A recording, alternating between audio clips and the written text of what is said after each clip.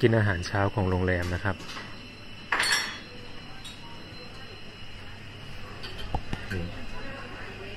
น่ากินมาก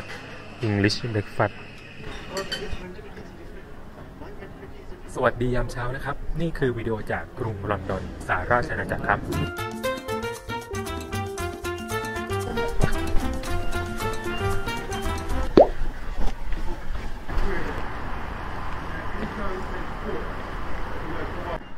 ตอนนี้ก็มาที่สถานีแพดดิงตันนะครับ เดี๋ยวเราจะนั่ง Tube นะครับไปลงที่สถานี Marylebone นะฮะเพื่อที่จะต่อรถไฟไปยังออกซฟอร์ดนะครับ เดิมทีเนี่ยออกซฟอร์ดเนี่ยก็นั่งจากแพดดิงตันได้นะครับ แต่ช่วงนี้เนี่ยเส้นทางจากแพดดิงตันไปออกซฟอร์ดเนี่ยมันมีการซ่อมแซมอยู่นะครับ ก็เลยต้องนั่งจากแพดดิงตันเนี่ยไปลงที่ มาริโบนก่อนนะครับแล้วก็นั่งจากมาริโบนเนี่ยขึ้นไปแพดดินตันนะฮะตอนนี้ก็อยู่ในสถานีรถไฟแพดดินตันแล้วนะฮะคนก็เยอะเลยทีเดียวนะตอนเช้านี้เดี๋ยวไปสายเบเกอร์ลูนะฮะ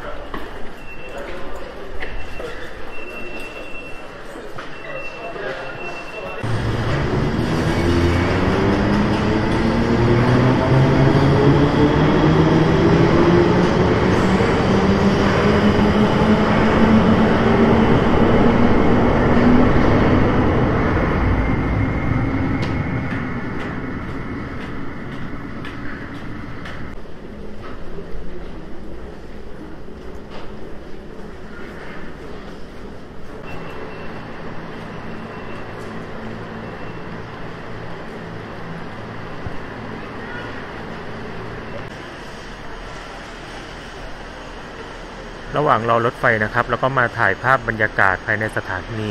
แมริโบนนะ ดูเป็นสถานีเก่าแก่นะ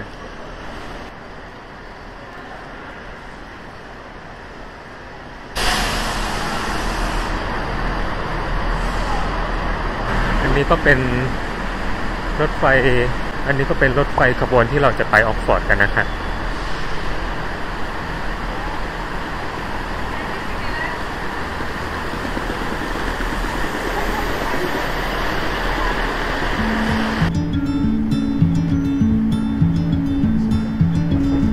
used to smile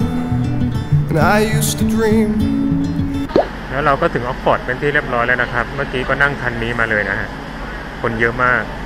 เขาก็บอกว่าชื่อออกซฟอร์ดเนี่ยมาจากคำว่า Oxenaforda นะครับ เป็นภาษาแองโกลแซกซอนแปลว่า Ford of the Oxen นะฮะ คือส่วนของแม่น้ำที่ตื้นจนวัวข้ามได้นั่นเอง เมื่อข้ามถนนหน้าสถานีรถไฟมานี่ก็จะพบกับรูปวัวตัวผู้ตัวนี้นะฮะ นี่เลย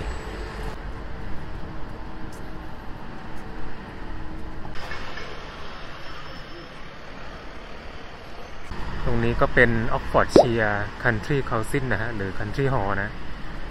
นี่เป็นปราสาทเลยนะฮะ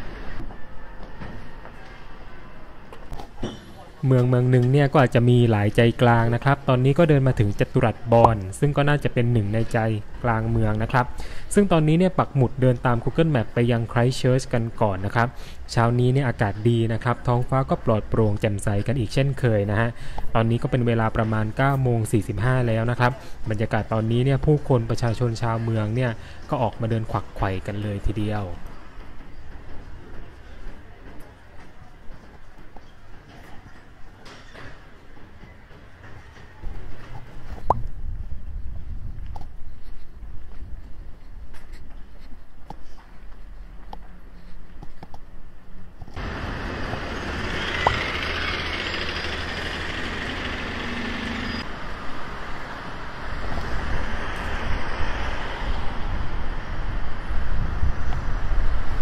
ตอนนี้เราก็มาถึงไคเชิร์ตแล้วนะครับ อยู่ด้านข้างนะเดี๋ยวจะไป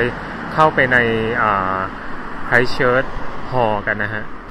ตรงนี้ก็เป็นหนึ่งจุดถ่ายรูปของไคเชิร์ตที่สวยสวยงามนะครับ ก็คือ War Memorial Garden นะ Christ Church War Memorial Garden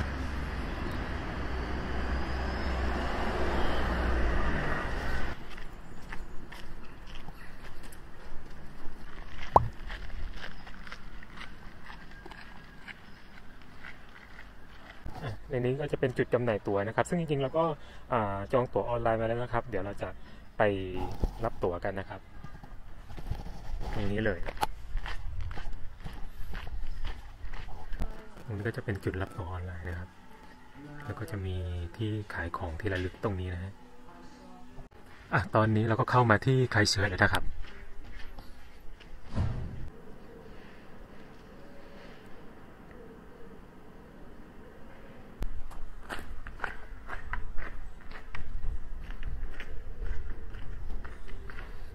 กากอยนะที่มี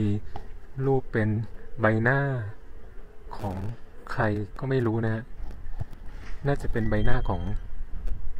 คนที่มีตัวตนจริง ๆ ที่นี่นะอย่างเช่นคนนี้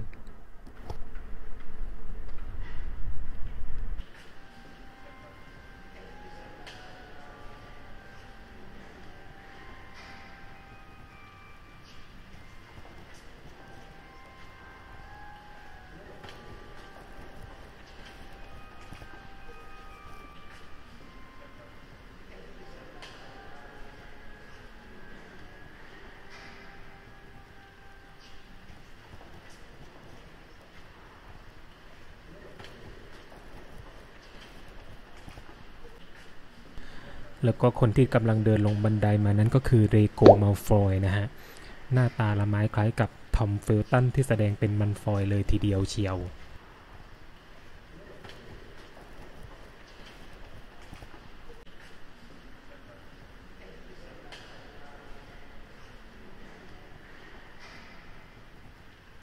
เขาก็บอกว่าไอ้ตรงบันไดตรงเนี้ยเป็นจุดเชื่อมไปยัง Great Hall นะฮะ แล้วก็แฟนๆแฮร์รี่พอตเตอร์เนี่ยคงรู้จักกันดีนะครับ จากตั้งแต่แฮร์รี่พอตเตอร์ภาคหนึ่งนะครับ ตอนที่มีการต้อนรับนักเรียนใหม่นะก็ศาสตราจารย์มักกอนนากัลก็ได้ยืนต้อนรับนักเรียนทุกบ้านเนี่ยอยู่บริเวณตรงนี้นะครับ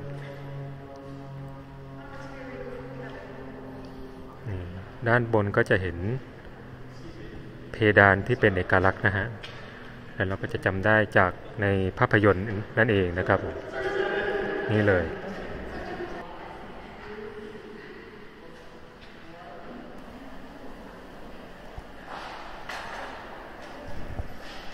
ตอนนี้ก็กำลังเดินเข้าไปในเกรดหอแล้วนะครับ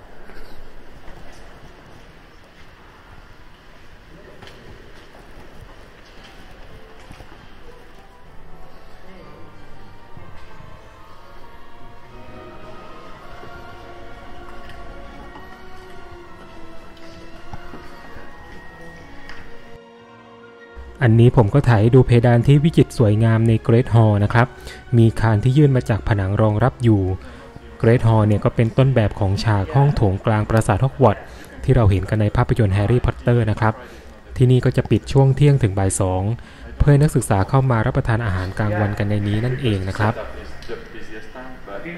ด้านข้างๆเนี่ยก็จะเป็นห้องจัดเตรียมอาหารนะครับ เพราะว่า Great Hall เนี่ยเป็นห้องรับประทานอาหารนะครับ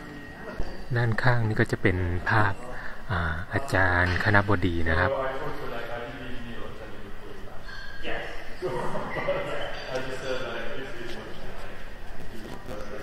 หรือที่เรียกว่าดีนนั่นเอง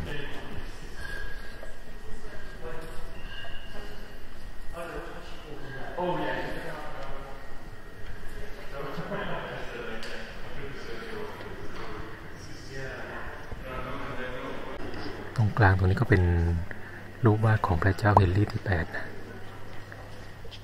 ส่วนสาเหตุที่มีรูป King เฮนรี่ที่ 8 ติดอยู่ตรงกลางด้านหน้าเลยนะฮะ เพราะว่าช่วงเวลาที่ก่อตั้ง college เนี่ย อยู่ในรัชสมัยพระองค์นะครับ แต่ก่อนหน้านั้นเนี่ยมีชื่อว่า Cardinal College จนกระทั่งเกิดวิกฤตขัดแย้งทางศาสนากับโรมันคาทอลิก จนเกิดการปฏิรูปคริสตจักรอังกฤษขึ้นพระองค์ก็เลย take over college แห่งนี้นะฮะ แล้วก็เปลี่ยนชื่อเป็น Christ Church นั่นเอง นอกจากมาซึมซับบรรยากาศห้องโถงของฮอกวอตส์แล้วเนี่ย ในนี้ยังมีกระจกโมเสกรูป Alice in Wonderland ให้เราได้มองหากันด้วยนะฮะ อ่าไหนลองหาดูนะครับ อันนี้เลยเจอแล้วอลิสในชุดสีฟ้านั่นเองนะครับอันไหนลองมองลงมานะฮะ นั่นทหารราชินีหรือเปล่า อะแล้วก็เจอกระต่ายที่พาอลิสไปหลงในแดนมหัศจรรย์ด้วยนะครับ สาเหตุที่มีภาพวาดโมเสกรูปอลิสเนี่ยก็เพราะว่าผู้ประพันธ์เรื่องอลิสคือลิวอิสแคโรเป็นนามปากกาของชาวลุดวิดดอสซัน อดีตอาจารย์ของไครสต์เชิร์ชนะครับ ส่วนคาแรคเตอร์ของอลิสเนี่ยว่ากันว่าได้แรงบันดาลใจจากอลิสซึ่งเป็นลูกสาวของ dean หรือคณบดีไครสต์เชิร์ชในช่วงเวลานั้นนั่นเองนะฮะ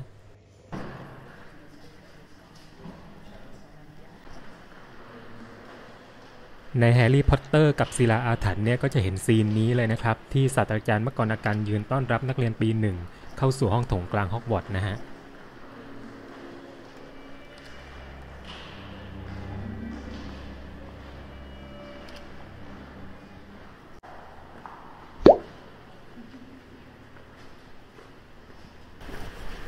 สิ่งที่เตะตาอย่างหนึ่งคือเพดานด้านในนะครับ จะเป็นเพดานแบบพัดที่ใช้ในสถาปัตยกรรมแบบ Gothic Perpendicular ซึ่งเป็นเอกลักษณ์ที่มีเฉพาะในอังกฤษนะฮะ แล้วก็มุมตรงนี้เนี่ยก็จะปรากฏในแฮร์รี่พอตเตอร์กับห้องแห่งความลับด้วยนะครับ ตอนที่แฮร์รี่พอตเตอร์เนี่ยหลุดเข้าไปอยู่ในความทรงจำของทอมริดเดิลหรือหลอร์ดบนเดอร์มอร์นั่นเองนะฮะ Excuse me. Could you tell me what's going on here?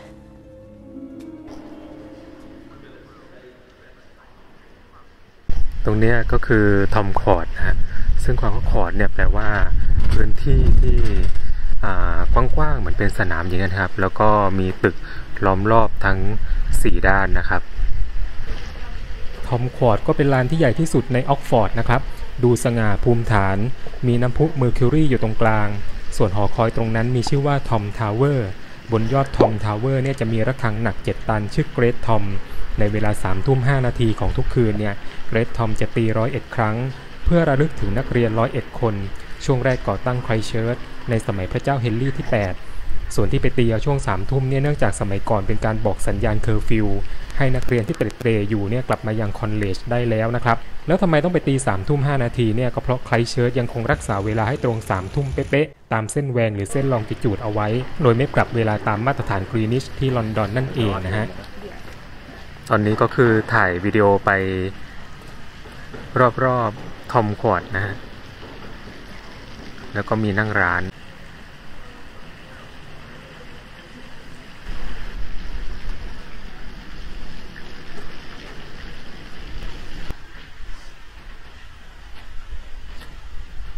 ตอนนี้ก็เข้ามาใน Christchurch Cathedral แล้วนะครับ ก็เป็นอาสนวิหารแองกลิกันประจำมุขมณฑลออกฟอร์ด และยังทำหน้าที่เป็นโบสถ์น้อยของ Christchurch College นะครับ บทบาททั้งอาสนวิหารและโบสถ์น้อยของที่นี่เนี่ยเป็นเอกลักษณ์เพียงแห่งเดียว ในคริสตจักรอังกฤษนั่นเองนะฮะนี่ก็มาเจอหนังสืออะไรสักอย่างที่ตั้งอยู่บนโต๊ะนะฮะก็เข้าใจว่าน่าจะเป็นหนังสือสวดมนต์นะครับไหนลองเปิดดูหน่อยสิ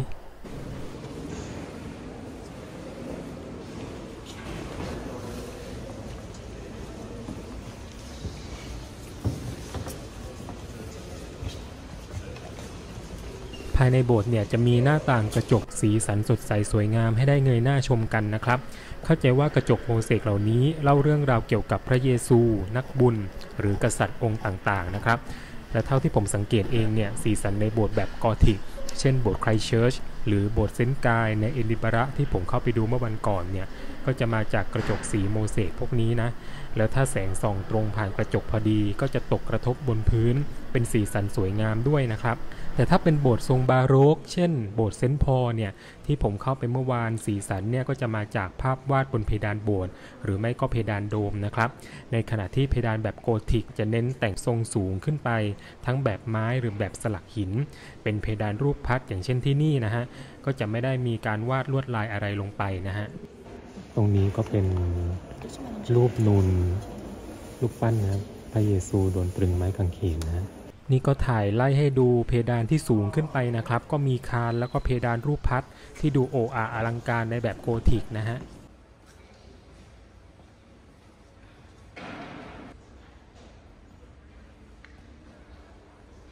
ผนังด้านหน้านี่ก็จะเป็นออแกนอันใหญ่เลยนะครับไว้สำหรับบรรเลงดนตรีในโบสถ์นะฮะ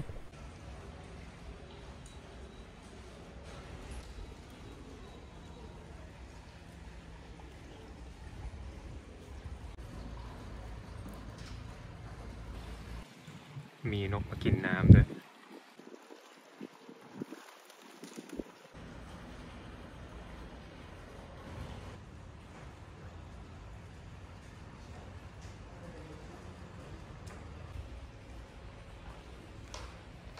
ตอนนี้ผมก็เดินอยู่ในบริเวณที่เรียกว่าครอยเตอร์ ครอยเตอร์นี้ก็เป็นระเบียงเฉลียงทางเดินนะครับ ซึ่งจุดๆนี้เนี่ยก็ให้บรรยากาศอย่างกับหลุดมาจากทางเดินปราสาทฮอกวอตส์เลยทีเดียว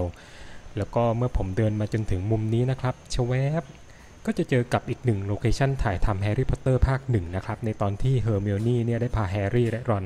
มายังตู้โชว์ถ้วยรางวัลของฮอกวอตส์และแฮร์รี่ก็พบว่าเจมส์พอตเตอร์พ่อของเขาเองเนี่ย ก็เคยเป็น seeker ในทีมควิดดิชบ้านกริฟฟินดอร์ด้วยนะฮะ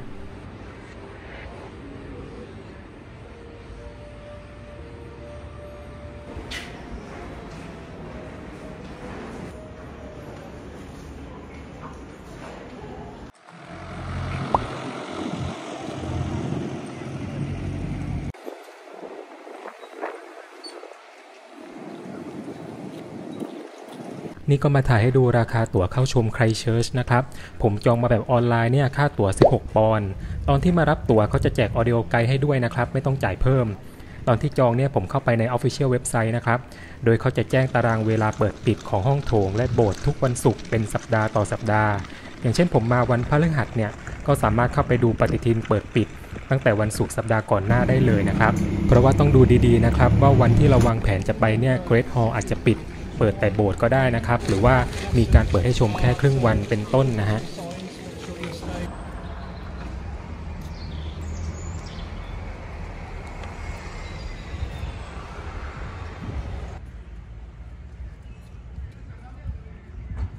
ด้านหน้าตรงนี้เนี่ยก็จะมี Alice Shop นะครับสำหรับแฟนๆ Alice in Wonderland นะฮะ ก็สามารถมาชมกันได้นะฮะ นี่เลย ตอนนี้ผมก็เดินออกมาจากไครสต์เชิร์ชอย่างเป็นทางการแล้วนะครับ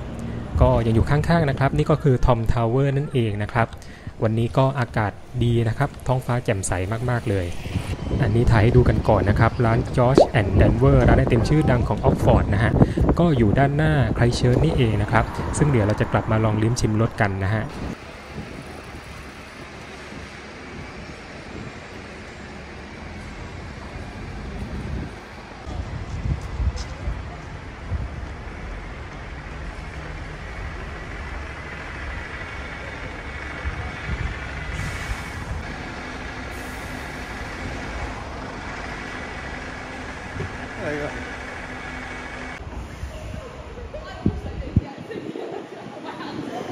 ตอนนี้ก็เดินมาถึงสี่แยกอีกหนึ่งใจกลางของออกซฟอร์ดนะครับ ก็จะพบกับ Carfax Tower นะฮะเรียกอีกชื่อหนึ่งว่า St. Martin's Tower เป็นหอคอยที่หลงเหลืออยู่ของโบสถ์เซนต์มาตินจากศตวรรษที่ 14 นะครับ ข้างบนนี่ก็จะเป็นจุดชมวิวนะฮะ จะสังเกตนะครับว่าคำว่า Carfax เนี่ยออกเสียงคล้ายกับคำว่าคาฟู ภาษาฝรั่งเศส ที่แปลว่าสี่แยกนั่นเองหรือเปล่า ก็เป็นใจกลางเมืองเก่านะครับที่มีถนนบรรจบกัน 4 สาย สายที่ผมเดินผ่านมาเนี่ยก็คือถนน St. Aldate's นะครับส่วนด้านหน้าเนี่ยคือถนน Cornmarket ฝั่งซ้ายตรง tower คือถนน Queen นะครับและถนนที่ผมเดินเลี้ยวขวามาแล้วเนี่ยก็คือถนน High Street นั่นเองนะฮะ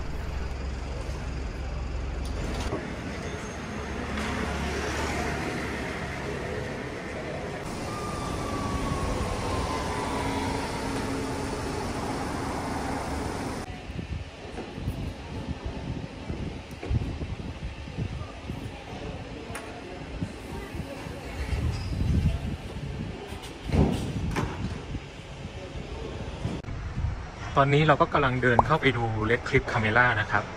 ก็คือเป็นตึกที่ใช้เป็นห้องอ่านหนังสือนะครับ แล้วก็ห้องสมุดของมหาวิทยาลัยออกซฟอร์ดนะครับอาจจะไปดูกันเลยนะตอนนี้ก็เป็นเวลา 11 นาฬิกา 55 นาทีนะครับ ผมก็มายืนอยู่ตรงหน้าตึกหน้าตากลมๆ มีชื่อว่า Radcliffe Camera นะครับคำว่า Camera เนี่ยมาจากภาษาละตินนะครับ แปลว่าห้องนะฮะ ซึ่งถือเป็น iconic ของออกซฟอร์ดเลยทีเดียวนะครับ ก็ก่อตั้งในช่วงต้นศตวรรษที่ 18 เพื่อเป็นห้องสมุดวิทยาศาสตร์ Radcliffe ต่อมาเนี่ยช่วงปลายศตวรรษที่ 19เนี่ยได้รวมเป็นส่วนหนึ่งของห้องสมุด Bodleian เพื่อทำเป็นห้องอ่านหนังสือ และเป็นที่เก็บหนังสือด้วยนะครับตอนนี้ผมก็เข้ามาอยู่ในหอคอยของ University Church of St. Mary the Virgin แล้วนะครับ เดี๋ยวเราจะขึ้นไปชมวิวด้านบนหอคอยกันนะฮะ วิวแรกที่เราจะเห็นเมื่อขึ้นมาถึงด้านบนนะครับ ก็คือนี่เลย Radcliffe Camera นั่นเองนะครับ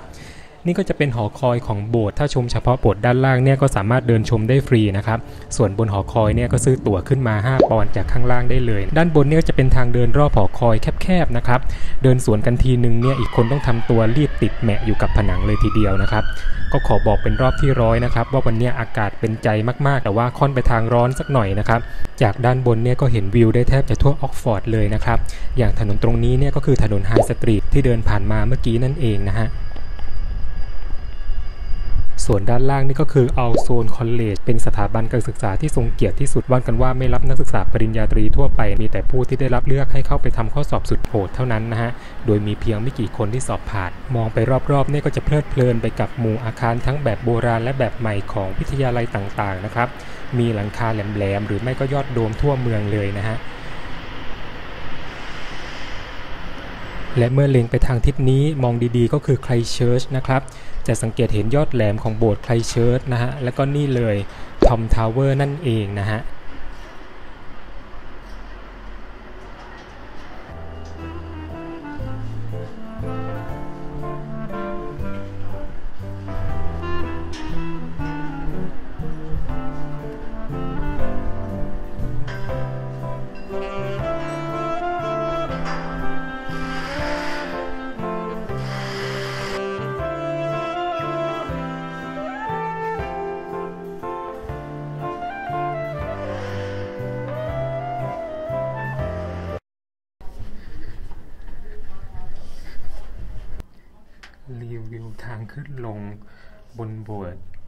University Church of St. Mary Virgin นะฮะนี่คือเป็นทางทั้งทางขึ้นและทางลงเลยนะนี่ก็เป็นทางเข้าของ University Church of St. Mary Virgin นะฮะ แล้วก็เมื่อกี้เราก็ขึ้นไปข้างบนตรงนี้กัน ขึ้นไปแล้วแล้วก็ลงมาแล้วนะฮะ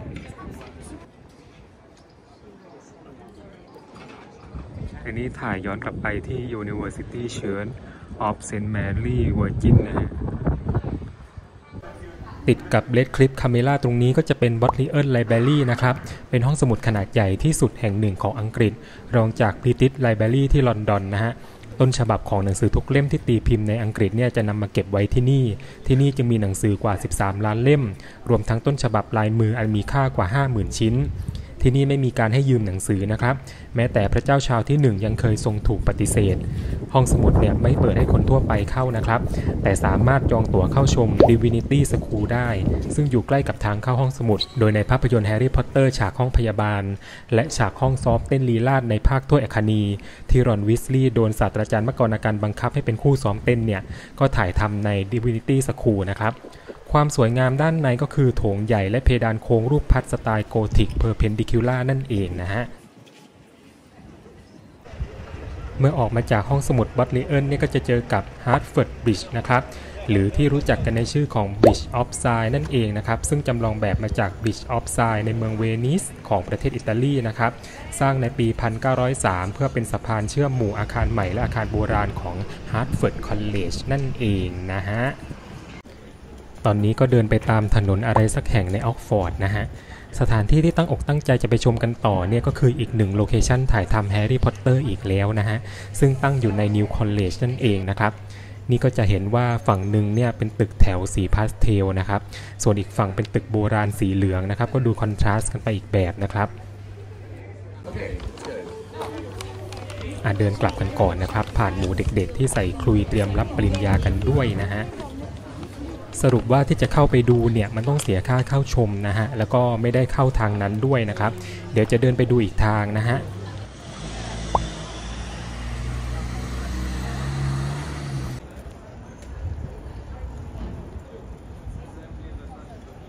อะเมื่อกี้ก็เดินกลับมาที่ Bridge of Sighs นะครับ แล้วก็ลอดใต้สะพานมาเดินมาตาม New College Lane นะฮะ ก็ จะเดินมาถึงจุดซื้อตั๋วเข้าไปตรงนี้นะครับ จริงๆ โลเคชันที่จะมาดูเนี่ย ก็คือฉากที่มัลฟอยโดนแมดไอมูดดี้เสกให้กลายเป็นพังพรนะฮะ ซึ่งจะต้องซื้อตั๋วเข้าไปข้างในนะครับ แต่สุดท้ายก็ตัดสินใจนะครับว่าไม่เข้าไปดีกว่านะฮะนี่เดินมาถึงตรงนี้นะฮะ ก็จะเห็นตึกสีเขียวอ่อนนะ และข้างหน้าเนี่ยก็จะมีป้ายนะครับ เขียนว่าเอ็ดมอนด์ฮันเล่นะฮะ ก็คือผู้คนพบดาวหางฮันเล่นั่นเองนะครับว่ากันว่าอดีตตรงนี้เนี่ยเคยเป็นบ้านพักแล้วก็ที่สังเกตการดาวหางของศาสตราจารย์ฮัลเลย์นะฮะ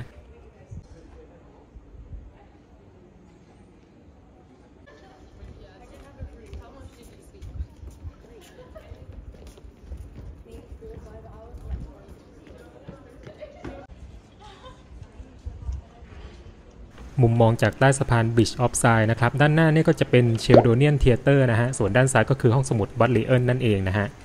อ่านี่มีน้องหมาด้วยเดี๋ยวถ่ายน้องหมาหน่อยนะฮะ น้องหมาขนปุกปุยน่ารักเชียอันนี้ผมก็เข้ามาอยู่ใกล้ๆ Sheldonian Theatre แล้วนะครับเขาก็บอกว่าข้างในเนี่ยใช้เป็นทั้งห้องเรียนเลคเชอร์ เป็นที่จัดคอนเสิร์ต แล้วก็เป็นที่จัดพิธีรับปริญญาด้วยนะครับ พอออกมานอกรั้วเนี่ยก็จะเจอกับรูปสลักครึ่งตัวบนเสารั้วเต็มไปหมดเลยนะฮะลักษณะเนี่ยเป็นคนไว้หนวดนะครับเรียกว่าเศียรจักรพรรดินะฮะในสมัยก่อนเนี่ยเขาบอกว่าเอาไว้ใช้เป็นจุดกำหนดเขตนะฮะซึ่งก็ไม่รู้ว่าเขตอะไรเหมือนกันนะ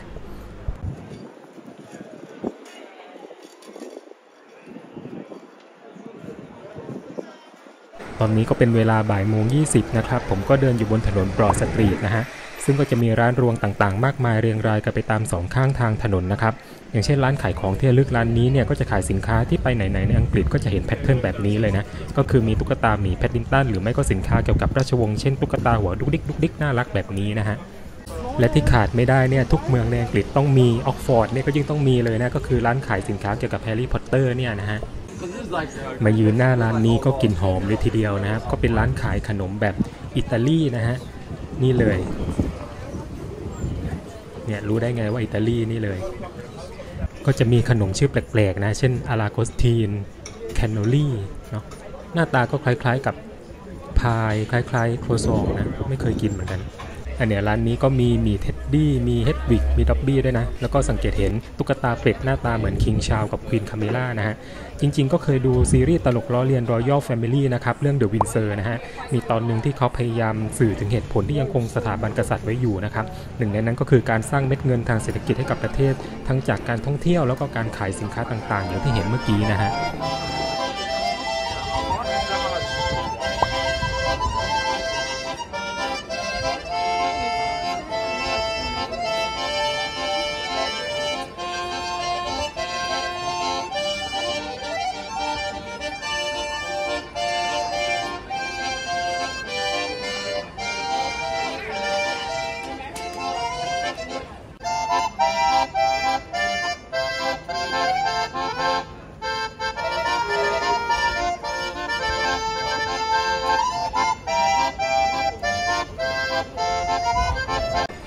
ครึ่งแล้วนะครับ ก็อากาศยังดีอยู่เลยนะ ผมมายืนอยู่หน้าตึกเก่า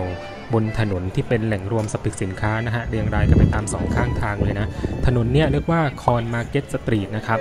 ก็จะมีร้านขายของที่ระลึก มีเสื้อผ้า มีคาเฟ่ ร้านอาหารต่างๆนะครับ เต็มไปหมดเลยนะ แล้วก็ตอนเนี้ยคนก็เดินสัญจรไปมากันเยอะมากด้วยนะฮะ ดูคึกคักเลยทีเดียว นี่ผมก็เดินวนกลับมาที่ Carfax Tower นะครับ เดี๋ยวจะเดินไปตามถนน St Aldate's นะครับ เพื่อกลับไปบริเวณหน้า Christ Church กันนะ เพราะว่าเดี๋ยวเราจะไปชิมไอติมร้าน George and Danver กันนะฮะ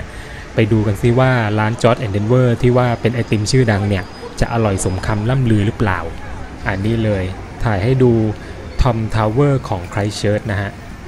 ถึงแล้วนะฮะ ร้าน George and Danver นะครับ ซึ่งอยู่หน้าบริเวณ Christ Church นี่เองนะฮะเข้ามานั่งข้างในแล้วนะ ร้าน George and Denver เนี่ยมีชื่อย่อว่า G&D นะฮะ แต่ถ้าเล่าตั้งต้นจากชื่อ G&D เนี่ยก็เป็นชื่อร้านไอติมที่มี 3 สาขาอยู่ในออกฟอร์ดนะครับ โดยตัว G ย่อมาจาก George เป็นชื่อเจ้าของร้านนะครับ ส่วนตัว D คือตัวย่อของชื่อน้องหมา 3 ตัวของ George แล้วก็มาตั้งชื่อเป็นร้านไอติมนะฮะก็คือ George and David George and Delilah แล้วก็ George and Denver ก็คือสาขานี้นี่เองนะฮะ นอกจากไอติมแล้วเนี่ยเขาก็ขายเครื่องดื่ม กาแฟ ขนมของหวานอื่น ๆ ด้วยนะครับ เช่นพวกคัพเค้กพวกแพนเค้กอะไรประมาณนี้นะฮะ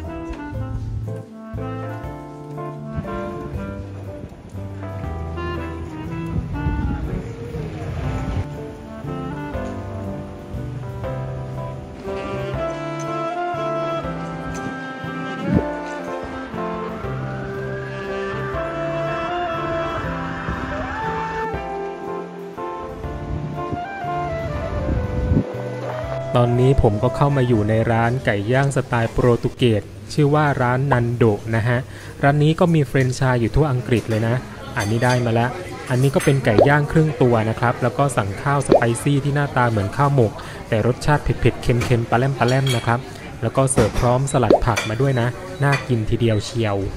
เมื่อกี้ก็มากินไก่ร้านนันโดนะฮะ อร่อยสุดยอดไปเลย ตอนนี้กำลังเดินกลับไปที่สถานีรถไฟนะครับ ก็เจอกับร้านอาหารไทยนะครับ Bangkok House นะฮะร้าน Bangkok House นะครับ เป็นร้านอาหารไทย บรรยากาศภายในสถานีรถไฟออกซฟอร์ดนะฮะเราจะเข้าไป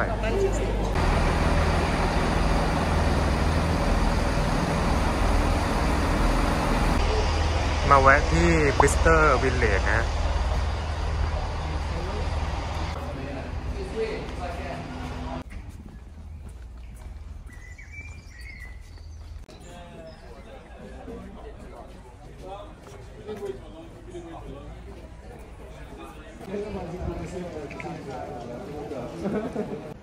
เห็นว่าแต่ละ คนนี่ถือของกันเต็มไม้เต็มมือเลยนะฮะ มีบริเวณให้นั่งกินนะฮะ อันนี้ร้านไอติมนะ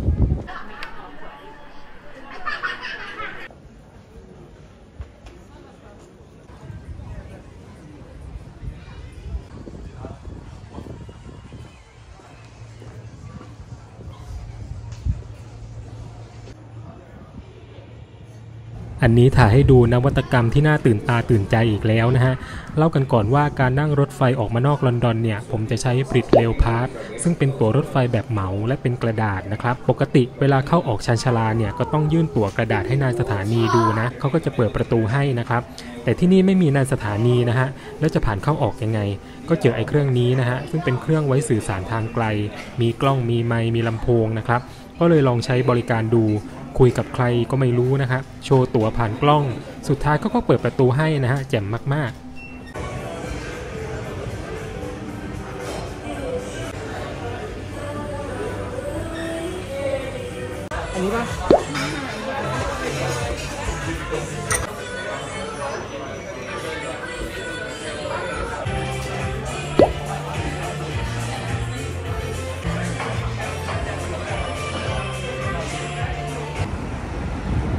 เมื่อกี้ก็ไปกิน Burger & Lobster นะครับ ที่ห้าง Harvey Nichols นะครับ อยู่ชั้น 5 นะฮะ นี่ อันนี้ถ่ายดูภาพตัวห้างในยามค่ำคืนนะครับ ตกแต่งสีสันสวยงามมากเป็นสีอิฐสีส้มนะครับประดับด้วยไฟสีเหลืองนะฮะแล้วก็ลอนดอนยามค่ำคืนเนี่ยก็ยังคึกคักอยู่เลยนะตอนนี้ประมาณสี่ทุ่มครึ่งแล้วนะครับ ขณะนี้เวลาประมาณสี่ทุ่มสี่สิบนะครับ และนี่ก็คือห้างแฮร์รอดนะครับ ที่มาพร้อมกับนั่งร้านนะครับ แต่ก็ยังประดับไฟสวยงามตามสไตล์ห้างแฮร์รอดนะฮะก็อยู่ใกล้ๆกับร้าน Burger & Lobster สาขา Knightsbridge นะครับ ที่ว่าไปรับประทานมาเมื่อกี้นะฮะก็คือใกล้ๆกับห้างฮาวีนั่นเองนะฮะนี่เลยฮะ อีกมุมหนึ่งของห้างแฮร์รอดนะฮะ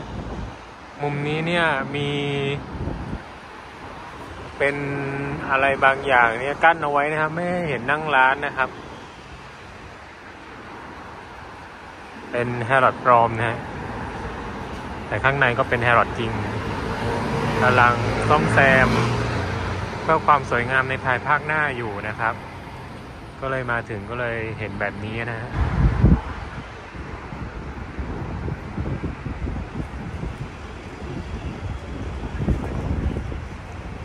ช่างสวยงามจริงๆ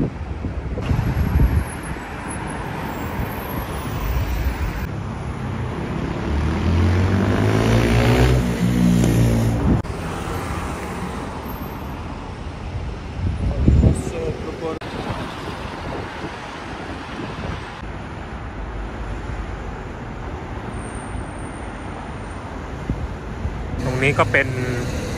ประตูไฮพาร์คนะฮะ ให้ความรู้สึกเหมือนสวนลุมพินีที่กรุงเทพ